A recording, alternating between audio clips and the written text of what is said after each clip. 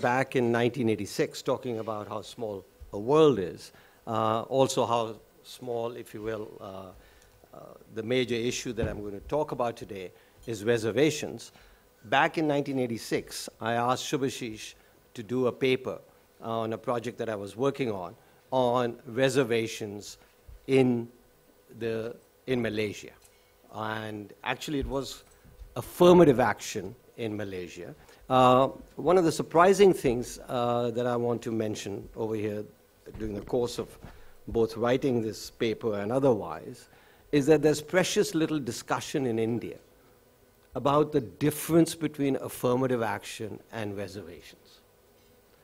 So, if you, and especially if you're liberal, so if we think we want or have liberalism, this is, if you will, one of the first places to start as to why is it that Indians take it for granted that really reservations is the only way uh, to help the poor, to help the downtrodden, uh, the only way to do affirmative action. And I will come into a little bit of detail on that uh, in a minute. now, you know, reservations in education and in, in jobs is a central issue that I have explored in this paper. One, and I you know, would do a poll if we had a time, but I would guarantee you that a vast proportion of both people here and certainly a much larger proportion of people outside who know about the subject will say that reservations for, for education for scheduled caste and scheduled tribes is part of the Constitution of India. Right? Well, it so happens it is not the case. The Constitution of India never, ever says that the reservation of educational institutions and, and, if you will, jobs should be for the scheduled caste and scheduled tribe. They go out of the way to say that, listen, it should be the backward classes. Remember the OBC legislation that came out in the 1990s. And your instinctive reaction, and indeed, while writing the paper, you say otherwise backward castes, but it is otherwise backward classes. So, one major question is how does it come about that all of us believe, large proportion, that basically reservations for scheduled castes and scheduled tribes is in the Constitution of India. It comes about, and this took, and this is what half of my paper goes through in, in detail, and I think there are some lawyers over here, and I would love to get their reaction, that basically it comes about because there is one place where it is specifically targeted at the scheduled castes and scheduled tribes, and that is in the case of seats in parliament. Seats in parliament at the national level, and if you will, at the state level and the assembly level, is stated in the Constitution that we will have this. It is also stated in the Constitution, or if you will, explicitly, um, explicitly formulated, that this policy of, of having reserved seats in Parliament, which is about as illiberal an idea as anybody could imagine, and Ambedkar was a liberal, but he was giving in to the pressure, and he said that this thing should be reviewed after 10 years. This is the policy that had to be reviewed after 10 years, and indeed, every 10 years, every liberal Everybody in India has approved it and postponed it and, if you will, amended the Constitution. It's actually an amendment in the Constitution every 10 years. And now, the, if you will, the amendment of the Constitution uh, will be needed in 2020 to extend this principle. So, if you will, this thing, why has it come about? And if you will, here, the Supreme Court is about the guiltiest person because they are supposed to interpret the Constitution.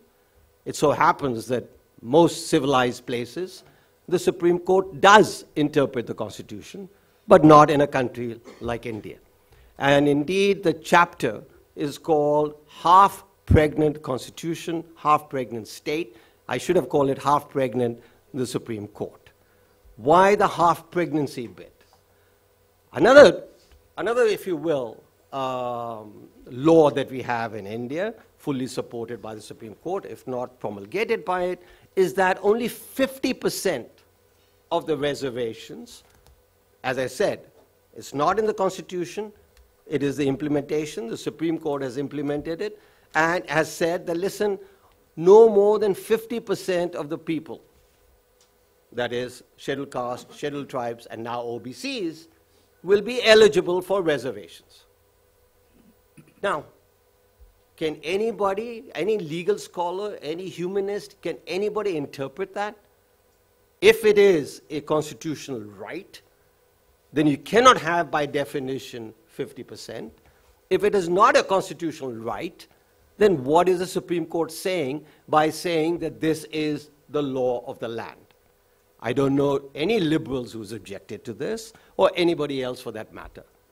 But it seems to me to make, if you will, it is, it's, you know, another point on this and the Supreme Court, because this is to do with the Constitution, is that there are more amendments to the Constitution in India than any place in the world. Indeed, there are more, we change our Constitution, amend our Constitution faster than you change your toothbrush. There are 125 constitutional amendments, and each amendment, if you will, has several amendments between them. I'm not counting those, but we have to take recourse to the fact that we have 125 amendments in the space of 65 years. The US, I think, over 200 and whatever, has 19 amendments or 27 amendments. It doesn't matter. By an order of magnitude, we have more amendments. So the central point I want to make over here, the first point, and I'll soon come to the second point as to who it has hurt and why it is obscene that we have this policy, is that it is not in the Constitution of India. But the Supreme Court has interpreted it to be in the Constitution of India and has put in, if you will, uh, laws to perpetuate this lie. Another point that in the OBC, and again, it was otherwise backward classes, that when that amendment was made back in the early 90s, uh, the, with, the, with the stipulation that there'll only be 50 percent uh, total uh, people who will be taken advantage of it. In 99, we have the first, and this is where, you know, our policymakers think either the people are stupid, and this was the point I raised early on, they can't do calculus, therefore, blah, blah, blah, therefore we have loco parentis, and we need enlightened individuals to guide them. So when we brought in this OBC legislation, the OBC population in India, otherwise backward classes, according to the 99 NSS survey, 99-2000 NSS survey, was somewhere around 34%. So 24, if you will, 27 are the SCSTs and 34 making a total of 61%.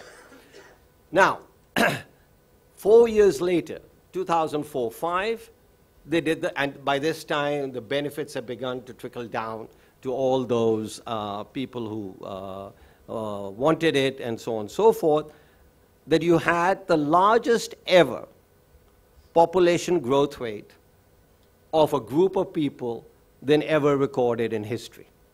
There is, amongst demographers, there is this rule that basically, not the rule, finding, um, that essentially the most, uh, that, and this is based on a on population that uh, does not practice birth control, that essentially a woman can have on average, some will have more, some will less, but on average about nine and a half kids um, during the entire fertility period. And this rate of growth of population of the OBCs was much higher than, if you will, the equivalent of nine and a half kids per person.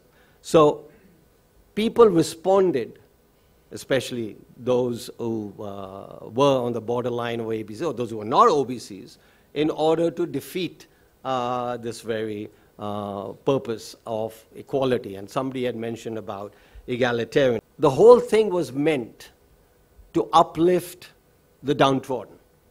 Okay? And the downtrodden or the disadvantaged, whatever you want to call them, uh, people who had been discriminated against, the whole works. The whole policy was meant to help them. Now let and the major instrument of helping the poor anywhere in the world is via education. And this is where I come to the highly illiberal Nehru regime. Because what did Nehru do? Contrary to every developing country model at that time, since then, before then, was that in order to help the disadvantaged, you provide them with education. Because education is a necessary step for your upliftment. Otherwise, it, is impossible. Okay? Second, what did an education in primary schools and in secondary schools and in high schools is absolutely necessary for you to enter college.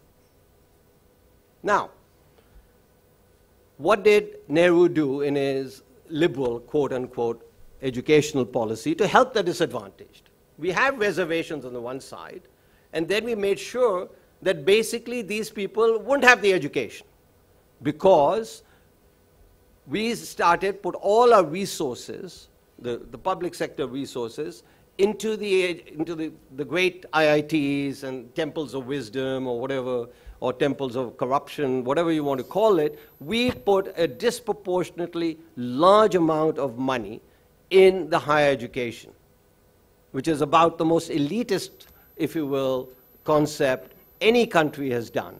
You, you look at the evidence in any country in the world that has tried to reform and has tried to help the disadvantaged, the first place they do it is through education. The second place they do it is through health, universal health care or trying to improve the health care.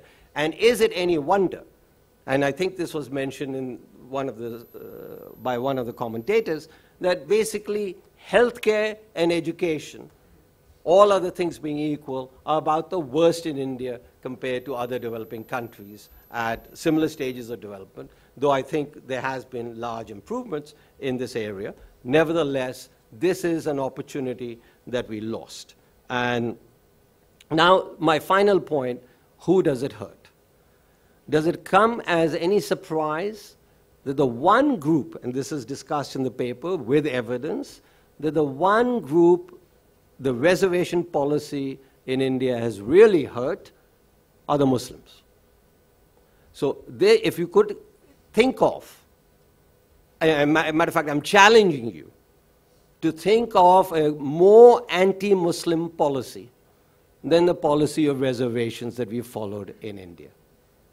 And one of the interesting things that's come out is that the people we think are not, not right or left, but nuts, the RSS, is the one and only political organization that has come out now stating that reservations should be based on economic backwardness. And the moment we have economic backwardness as part of the principle of reservations, and I'll come to last minute on the affirmative action, that this will help the Muslims the most. Now, coming to what, is, what have most countries done in terms of reservations? They have discarded the notion of reservations, instead brought in the notion of affirmative action.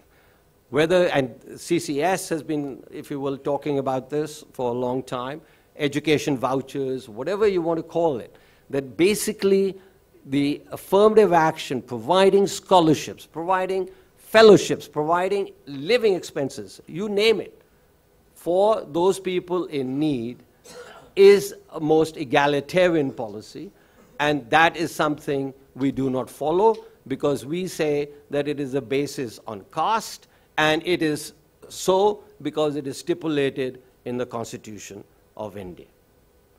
So I think time has come, in my view, um, that the Supreme Court and the Constitution of India both need to be looked at uh, again.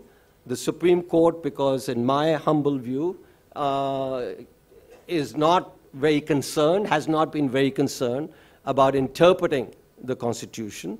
And I can give you examples on cow slaughter and various other uh, areas in which the Supreme Court has gone way off um, the edge, or in the terms of education. And the Constitution, you know, in the, in the late 90s, early 2000s, uh, had set up a commission to, if you will, discuss and study the idea of a new constitution. Um, the triple talaq uniform civil code was also mentioned in the earlier. I think it's high time liberals supported the idea of that we need to take another look at the Constitution of India. Thank you. Let me start with a sort of clarification and an admission. Uh, I began working on this topic of securing safety net, right, as a way of solving a problem. I wasn't sure at the time whether the solution that may come about is going to be consistent with liberal libertarian principles or not, right? So it was very sort of mechanical engineering exercise that this is the challenge that we are facing. This is what's happening around the world. Obviously, Greece and other countries which are going into default was also part of what was uh, the motivation behind uh, this exercise. Right? And obviously, India is also walking on the similar path of state-supported, state-created sort of welfare system. Right? So NREGA is part of it, the right to food, and many other rights that we are slowly introducing uh, in the country are all moving us in the direction of a state-dominated welfare system. Right? So I thought it'd be good to sort of think through, is there another alternative uh, to the current model, right, which seems to be quite universal. Of course, most Western countries have the model, and so do now countries like India uh, following in the same footstep. What I'm going to do is just to give you a little bit of context of what it is. The second part, which is my motivation, and I think this is an important contribution in a sense to the discussion around welfare state right, is what is the right kind of welfare state? It's quite surprising when you look at the literature that there is hardly any discussion about parameters through which you will judge whether welfare state is performing well or not? Uh, it, sort of, to me, it was quite shocking amount of money that is being spent uh, in, this, in this area and the larger public discussion that happens uh, on it, right? There's hardly any clarification or attempt even to specify what makes a good welfare state, right? And then I offer sort of one solution that uh, I engineered and see whether what you think of that. The idea behind that solution is what I call sustenance and selfhood paradigm. What I'm arguing is that the current welfare state provides only material support. Right? But we know from our own experience and large amount of critique uh, that is being done to the welfare state, particularly from the conservatives uh, around the world, uh, tells us that just by giving money or material support, you are not going to be able to help all the people. Right? Uh, just take an example of being unemployed. Right? I may be unemployed because of various reasons. Right? A state can simply provide me unemployment insurance or a benefit it would not be able to help me to get back into the job, get back on my feet. Right? Uh, and therefore, what I argue is that we need to have combination of support. One, obviously, is the material support, the sustenance support, and the second, what I call selfhood support, basically meaning behavioral, emotional, moral, maybe in some cases even spiritual, right? Support the people who need to get back on their feet, right? and that will vary from individual to individual, and therefore there's a need for a personalized welfare system as opposed to a massive bureaucracy or bureaucratic welfare system that we have developed around the world. So that's the sort of basic uh, idea uh, behind it. What is a welfare state? I think it's a good summary. I also like the, to rephrase uh, Frederick Bastiat. A state is a fiction through which everybody wants to live at the expense of everybody else, right? And similar, you can, similarly, you can say about the welfare state, right? What I've done is to sort of bring a little more precision in the discussion, uh, I sort of divide the state functions into three broad buckets, right? One, what I call the rights protection, protecting our life, liberty, and property. Uh, second is provision of public goods, uh, education, healthcare, and many of those. Even though I think most economists in the room would sort of uh, cringe uh, hearing that education is a public good, but uh, that's how currently being uh, interpreted. Right? And the third is what I refer to as welfare or entitlement. The difference between the second and the third is that the second is universal, is available to everyone, while the welfare is targeted towards specific groups of individuals. Right? It's not in that sense universal. So currently the system that we have is citizens pay taxes to the state, state runs these three functions, right protection, public goods, and welfare. Citizens also do philanthropy and, and support uh, CSOs, community or civil society organizations, right? Some funding also comes from the state to those CSOs. In a sense, CSOs are, and in many cases, implementing agencies uh, for the state, right? So this is the current allocation of resources, right? I'm going to talk about now what's a good welfare system, and then I bring back to the cycle of how to reallocate resources. So first parameter, I think, is to promote self-reliance. At the end of the day, the purpose of welfare systems should be to help the people to get back on their feet, right? So promote self-reliance, promote, promote self-help, however you want to phrase that idea, but something around that has to be the core objective of a welfare system. Second is what I argued earlier, that provides both sustenance as well as selfhood support, material as well as moral support the people need to get back on the feet. Third, uh, that is should involve more actively the citizens, now not just in terms of paying taxes uh, and then saying that okay, I have done my job, now rest is what government's supposed to do, right? And that's what you actually hear in many of the uh, sort of opinion polls uh, in the Western countries, right? When you ask them, what have you done on your own? People say, well, I pay my taxes to help the fellow citizens? So if we need to change that system. We need to bring about more active engagement uh, of the citizen. And of course, fourth follows the third. If you're going to have more active engagement of citizens, you need to have more decentralized uh, governance structure for the welfare system, right? And therefore, of course, direct accountability that we talked about, I think Jay, Jay Prakash mentioned in the morning, right? Accountability and authority sort of goes together in some ways, and this is one way of thinking about and the point number three and four.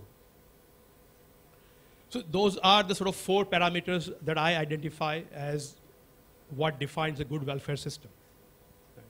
And I'm going to sort of build on them as we go along. One reason why I think the CSOs are important uh, in this picture is largely to provide the moral, emotional, behavioral support, right, which would not be provided by the uh, bureaucratic agency. Right? Uh, and the support that they would provide sort of fits into Amartya Sen's framework of capability. Right? Uh, so what the framework argues is that you have various commodities, money, goods, uh, services. People have their own personal characteristics as individuals, and they live in a particular social system, cultural system, and the system also has its own sort of characteristics. Right? Combination of those two allow people to then convert their commodities or resources into functioning or capabilities, right? And that, in a sense, allows what I'm assuming that as getting back on your feet, in a sense. Right? And this is the role uh, that the CSOs play, is to help in this area to make sure that whatever resources or sustenance which is available uh, through the state or otherwise is, in a sense, utilized in a manner so that the person is able to achieve the capacities and capabilities and functionings that the person wants, right? I find this language very confusing. Uh, my colleague have, have tried very hard to sort of figure out how to re-articulate Sen's approach, but there seems to be they have used so many different terms uh, in describing that approach. This becomes quite confusing for most people on the first brush. Uh, so how do we bring about the change in the current system, right? So what I propose simply is that a part of the, let me put the whole thing up, part of the tax that I pay, I should have authority to pay that directly to the CSOs.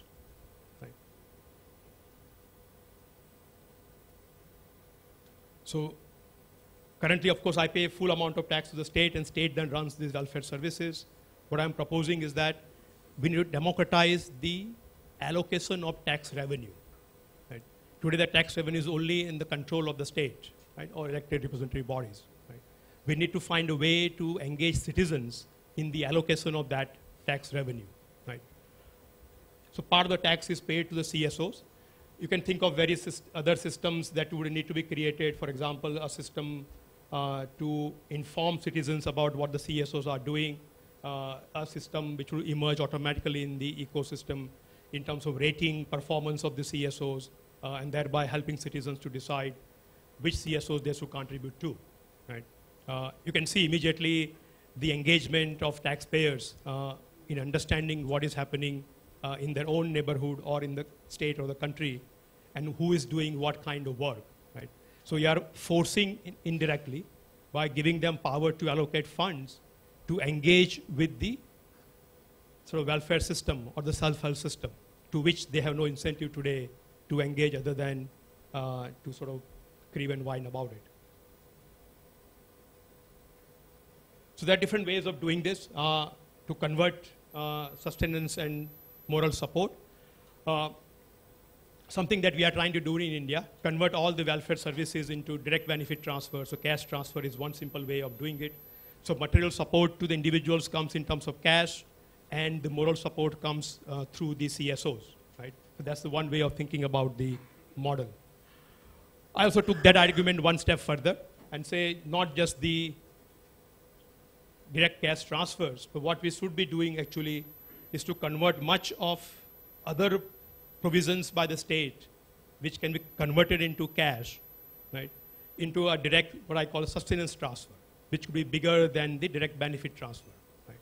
So a state basically provides you sustenance in terms of cash as opposed to any in any other form. Right? State could still run the schools and colleges, run the hospitals if they want to, but those are physical services that state provides. Anything that can be converted into money gets converted into money uh, in terms of direct sustenance transfer. So that's sort of one model of thinking about how you can build in the existing welfare system uh, around the new idea of engaging citizens in the process. The second approach, which I find a lot more, a lot more appealing, uh, is that to allow citizens to allocate resources not only to CSOs, but also to some of the ministries which provide welfare services or public goods. Right? So some part of the, and we, this is something open to debate, uh, what proportion of tax dues that I have to pay, I can allocate either to the CSOs or to the ministries.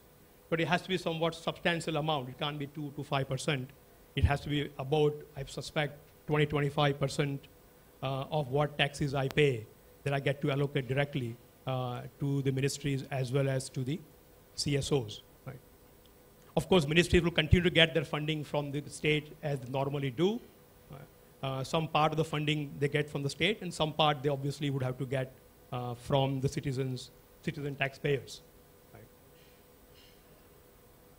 What happens in this case is there is a direct competition between the state ministries that provide these welfare services with these CSOs, which are also providing very similar kind of services, right?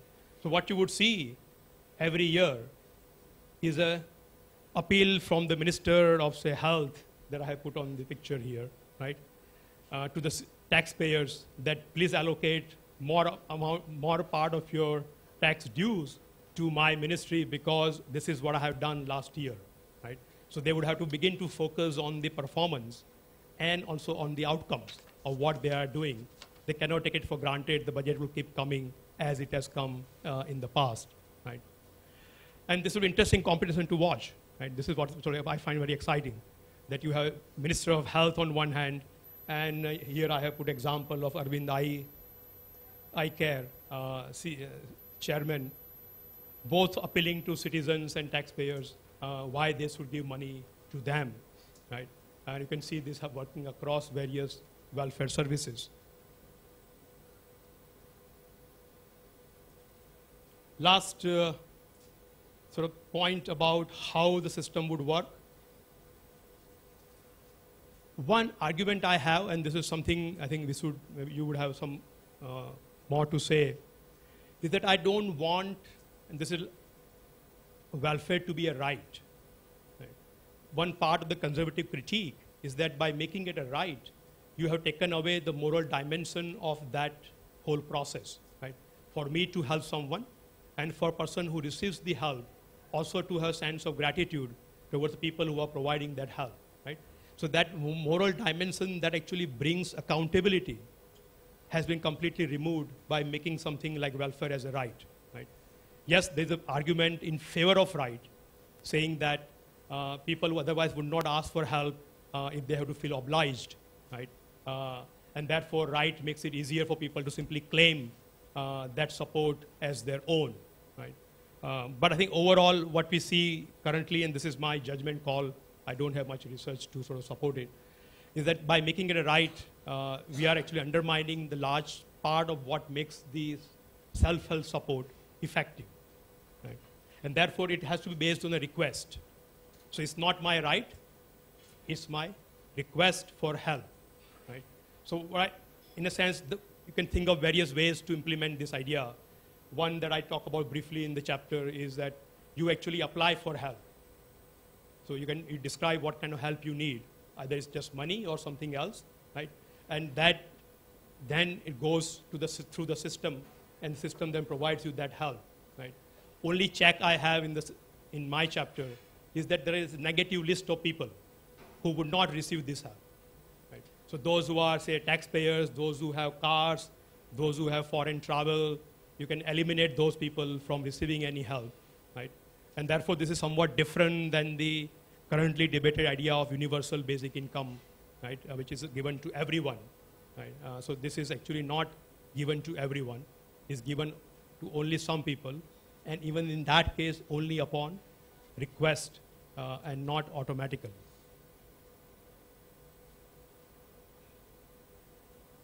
I think that's probably does. Yeah, this is the same slide I have as a closing. Good, thank you. And I must thank CCS and Parth and uh, Naumann Foundation for giving me the opportunity to write this because I think it had been a very rich learning experience for me. But having written that, in fact, after three months, I was I just opened it to know, remember remind myself what did I actually write. but I thought I'll take this opportunity to push myself further. It's been a long time since what I should say the confession because the article, the paper that I wrote was more an autobiographical confession of my failures rather than anything else. That I'd rather take this opportunity to share with you how I may have learned something or tried to learn something. And I wish I was in the session with Jerry. I tried to persuade the organizers to put me in the session with Jerry, but perhaps we'll get a chance to share later. The question is, and like you saw just now with, the, with, the, uh, with Surjit and Parth, and the morning session particularly, what do we, how do we assess liberalism? In a sense, is it a success? JP quite rightly said, the liberal ideas have dominated the world, even if liberal parties haven't, lately at least. Or, as some of others have written, that democracy itself is under threat uh, over the last five, six years, particularly over the past decade, because just think of the change that has happened. I find it amazing that just 20 years ago, in the first half of the 1990s, we had the clash of civilization and end of history. Today, 20 years later or a generation later, there's a lot of discussion in India and across the world now, actually, and irrespective of the outcomes of the US election, incidentally. that democracy itself, the idea of democracy itself, is under scanner. And again, this is not a new phenomenon. The idea of democracy was questioned in ancient Greece, as somebody in the morning pointed out. It was questioned at the, start, at the founding of the American Constitution revolution. And it has been questioned, particularly now at the, at the, in the second decade of the 21st century. What's happening? And the reason I'm saying this, and again, somebody mentioned that these are conferences like people like us, which it is. And I must say, another group of friends I should thank is Arch, Amrish, Trupti, Anil Bhai in Gujarat, who really gave me an unique opportunity to look beyond people like us, beyond conferences in Delhi, Bombay, Calcutta, to actually go to India that I may not have seen at all. Or if I had been there, I would not have had the eyes to look at. And I really realized, and that is partly in my paper, so I'll not disappoint you by not referring to the paper, that I really rea- be- began to feel and actually realize that our single biggest weakness has been our lack of stomach to take our fight beyond people like us. We enjoy talking to ourselves, and I'm very glad that uh, it's a coincidence, but it's a very fortunate coincidence. I think it's a once in a lifetime opportunity that life, last five years, because of Arch, I could see parts of India and talk to, engage with people where many of the things that we discussed today are irrelevant. For instance, Surjit mentioned reservation. We have had self-immolation in Delhi on reservation. So it's a very emotive issue. But go beyond urban India. 90% of Indians have no hope, no expectation even, of ever getting into anything that will require reservation. They're in the informal economy. Barely 15% are, com- are completing college. The dropout rates being what they are. So what are they expecting? And I began to realize something that I had not realized before, and something which Lavish also in the earlier session, in the first session, mentioned. That we, I realize that we completely misunderstand politics. How many of you in this room look upon politics as something that's desirable, something that you'd like to enter? JP did. But how many, how many of us actually look upon politics as something that inspires? something that we'd like to engage in, something that, that, that we'd like to do in order to bring in the change that we think we should. Very few. There's only one hand there. Two. Dhanu here. Three. Four. Even Jerry, I'm surprised, having tried it. Yeah. But I think, I think you know, there's a reason, and that's because we, I think we completely misunderstand what do we mean by politics and what we mean by democracy because these two things are in a way related. And politics, mind you, is much more basic than democracy in an electoral sense of getting a majority. We can't escape politics even in our home, in our communities, in our villages, in our housing societies, in our states, in our countries. We can't. In our, in our companies, in our organizations. Politics is about managing people primarily managing people. That's what politicians are most capable of. They can mobilize and manage hundreds, thousands, millions. And the man who actually transformed Indian politics is Gandhi himself, the original Gandhi. Yeah. He transformed a group of intellectuals educated elite of India more than 100 years ago into a mass movement. We liberals lost that battle because we let it, I mean, not just Gandhi, subsequently, across the world, not just in India. We took the ascendancy of liberal ideas for granted and believe there's no reason to take it beyond people like us.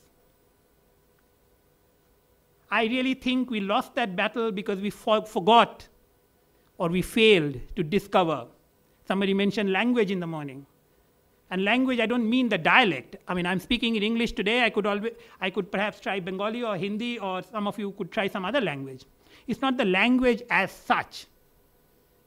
It's how you use the language to connect. And the man who taught the whole world this is the original Gandhi.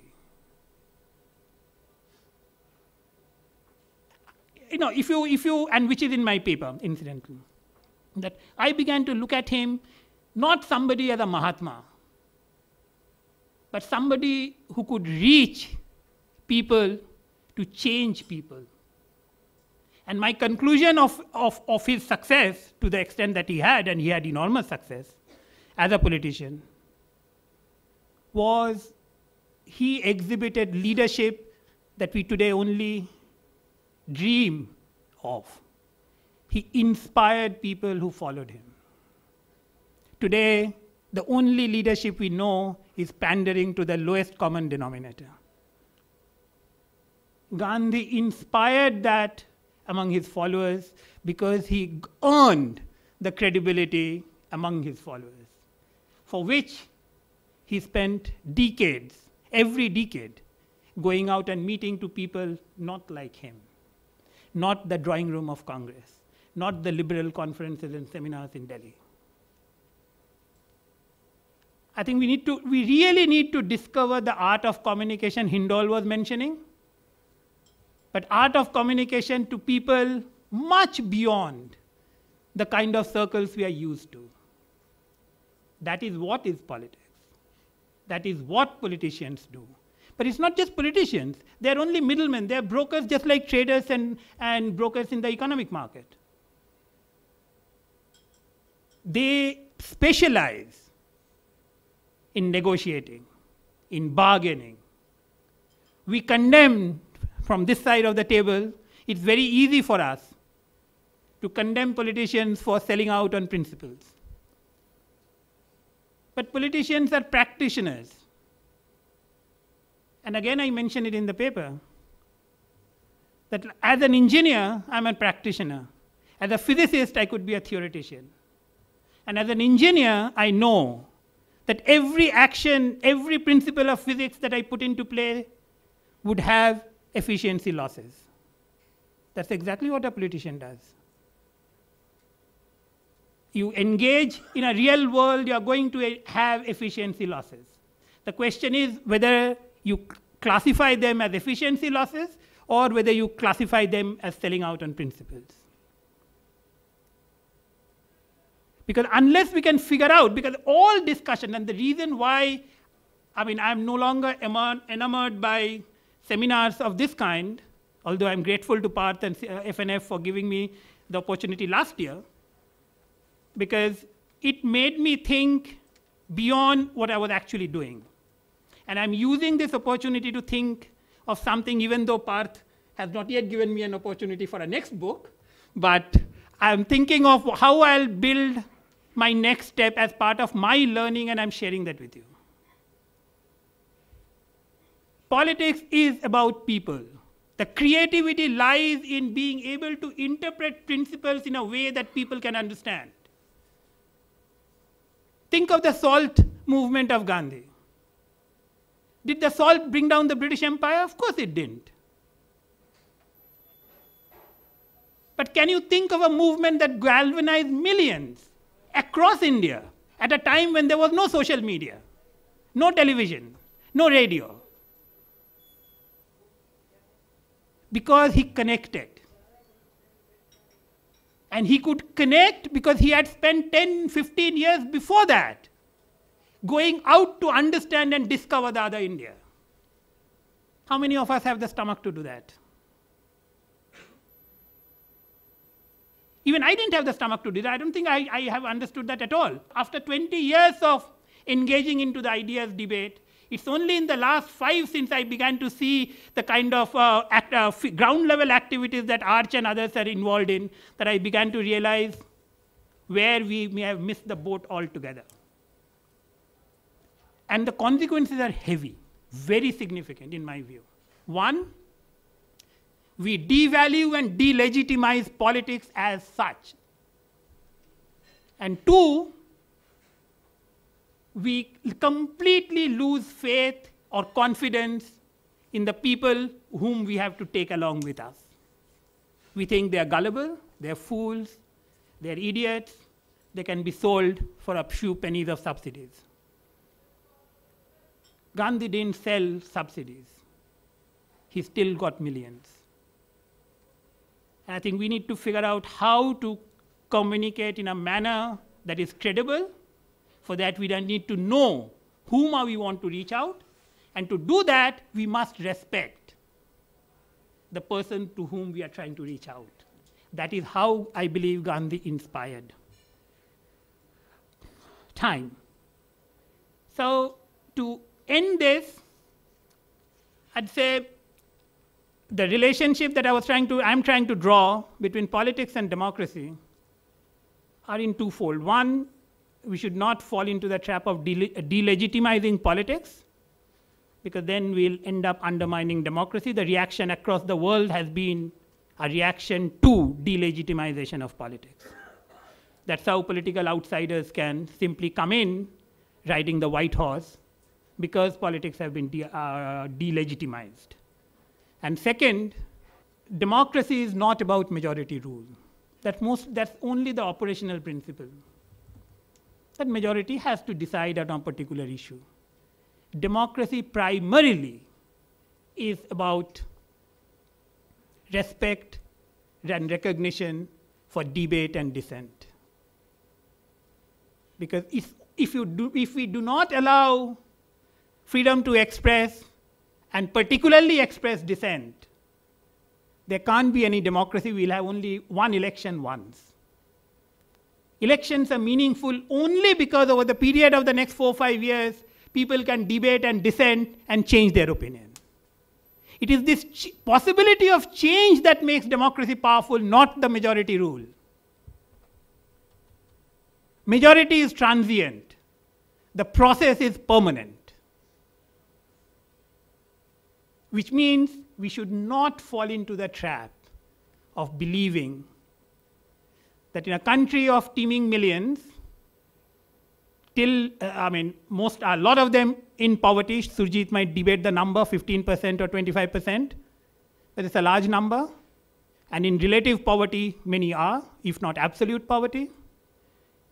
Uh, literacy is still a challenge in large parts of India, and therefore it's very easy, very easy and I am as guilty as anybody else to assume that people at the other end have no capacity to understand and appreciate the principles we are talking of. They understand and appreciate it much more because their lives depend on that principle much more, which is what I learned primarily because of the engagement Arch has been involved on land and property rights. We don't have to, it's in Delhi in Constitution Club and, uh, and Habitat Center that I might have to debate the validity of property rights and whether right to property in the Constitution should have been there or not. In none of the villages I have visited so far have I had to ever debate the validity of the right to property. People take it for granted. If that is, a that is an advantage we are not able to leverage, it's completely our own failure. Thank you very much. Satya once again from uh, Jindal Global Law School. So there are a few things that you said that I agree with, so I'll just mention what those are. I agree with you that, that we have seen too many constitutional amendments. I agree with you that the Supreme Court is to blame for, sorry, is to blame for uh, misreading equality in, in some ways. And I agree with you that every once in a while our constitution needs a, some sort of a review. So we should have some uh, kind of a review commission every uh, 25 years or 30 years. what I don't agree with you is what are the reasons Supreme Court has, uh, or, or, where is it that the Supreme Court has faulted? And um, also want to sort of clarify certain legal points about uh, where caste is mentioned in the Constitution, where reservation is mentioned in the Constitution. I also agree with you that affirmative action is not reservation. So if you just read from the Constitution, Article 15.4 and Article 16.4a talk about affirmative action. 15.4 talks about socially and educationally backward classes and goes on to mentions or scheduled tribe or scheduled castes. At the time of independence, social backwardness was synonymous with scheduled castes and scheduled tribes. There was no disagreement on this question. That if you're talking about socially backward classes, then scheduled castes and scheduled tribes will automatically fall into that zone.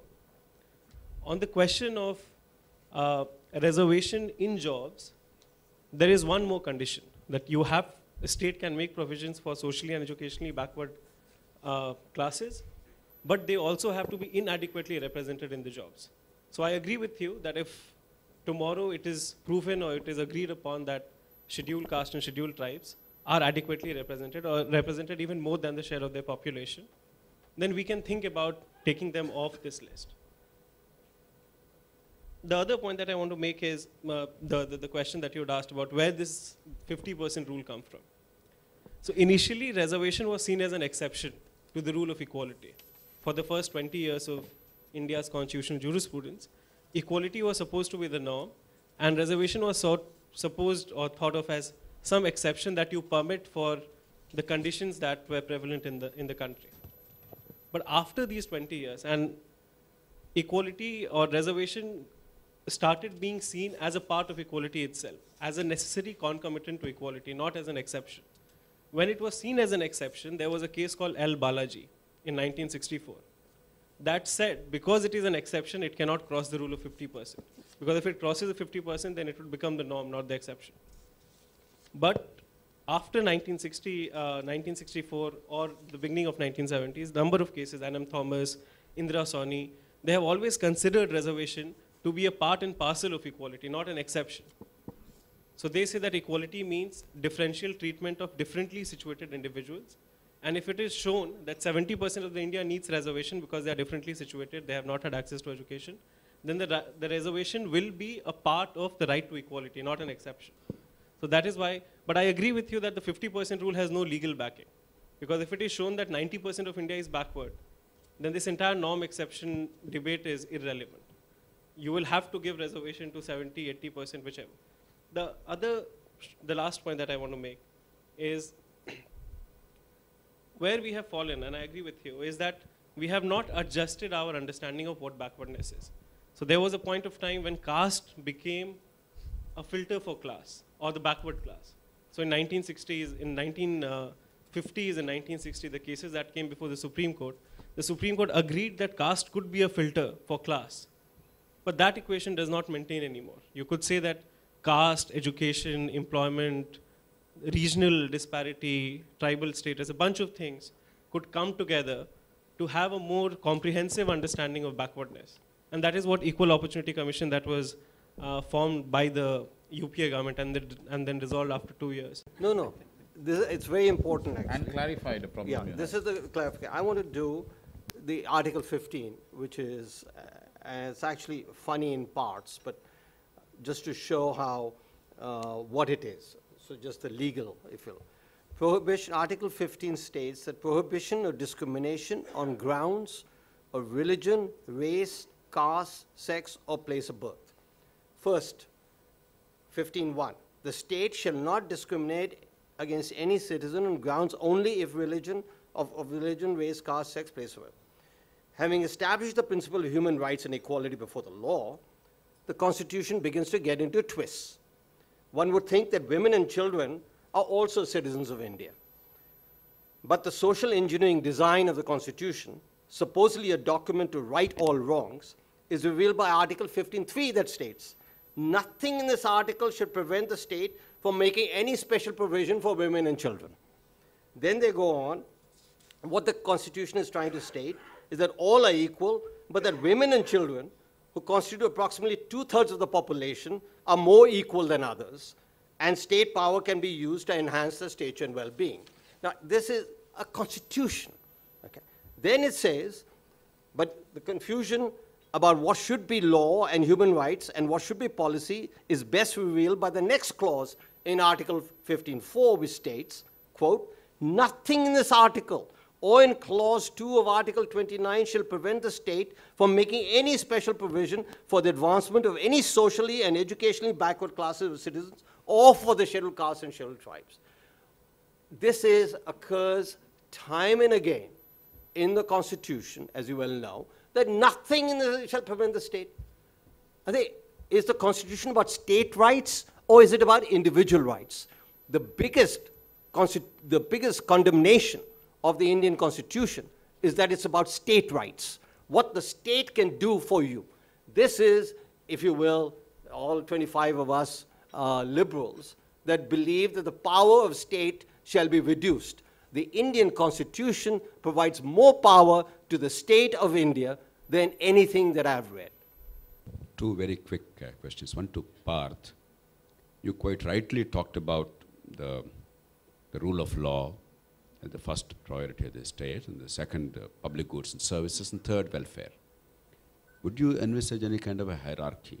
In other words, is it reasonable for a government to ignore the primary functions as understood as the role of the state in any society and then take to the third function which actually yields votes, particularly when there's misgovernance in the other two?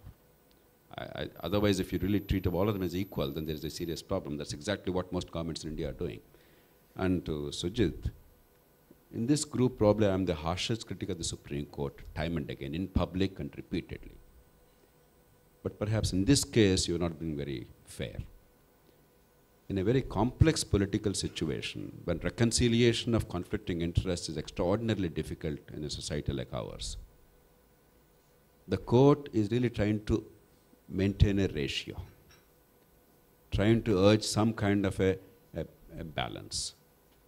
It's not a perfect solution because when there's no way the political process can find solutions realistically, for the reasons we all understand.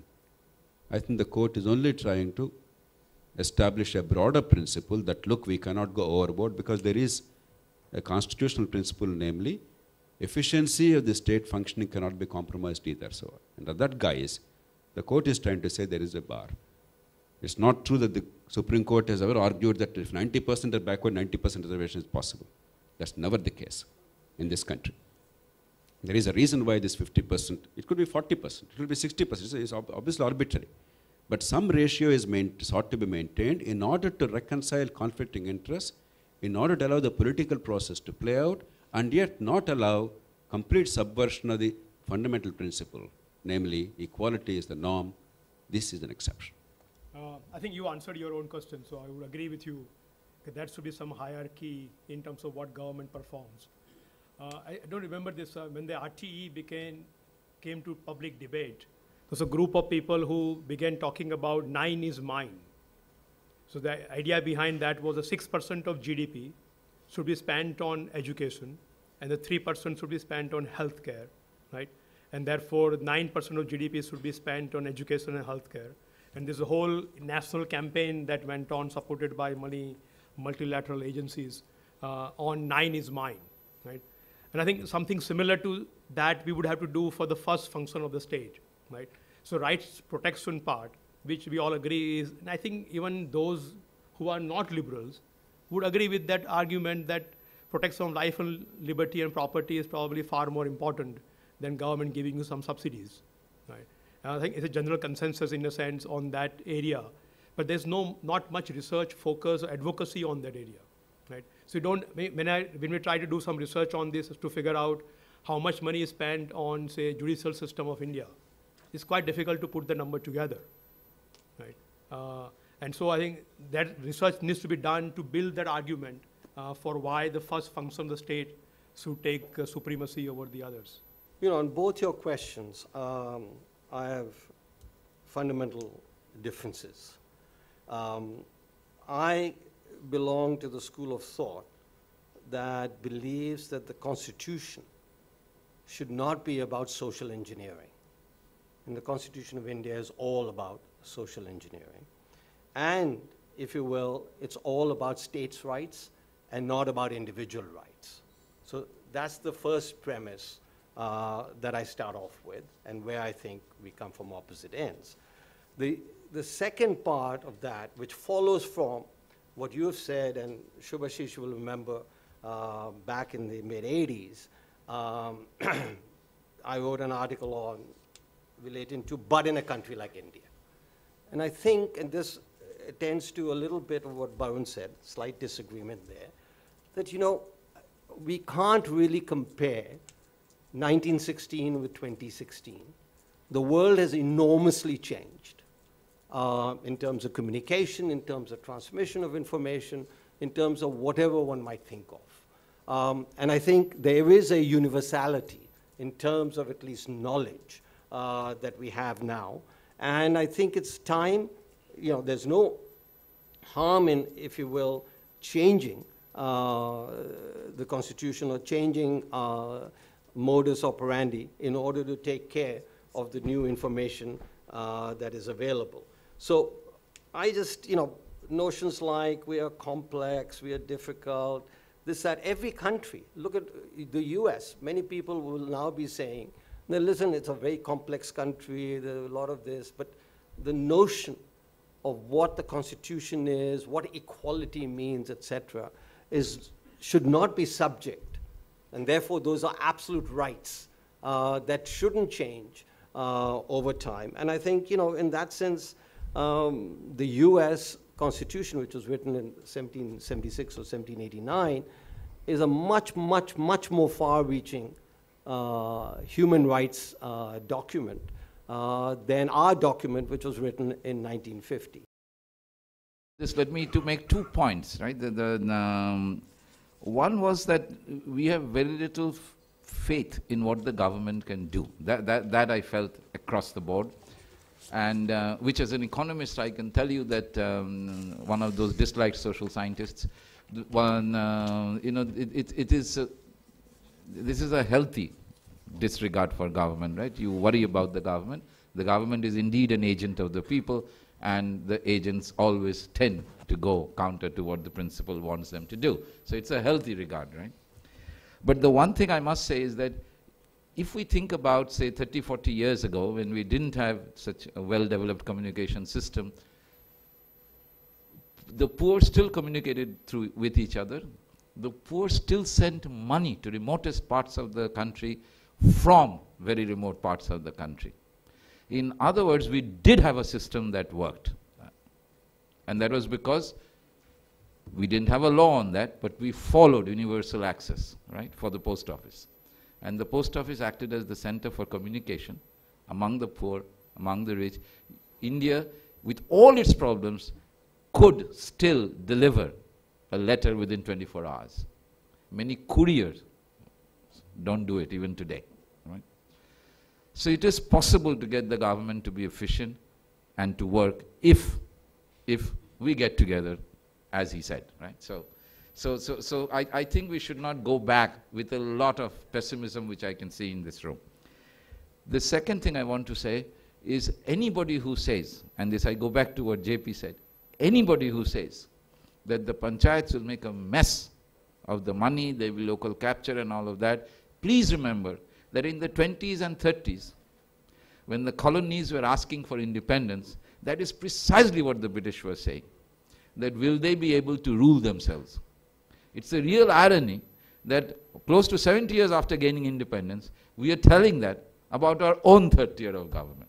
That's a bigger irony. That's a much bigger irony. Thank you very much.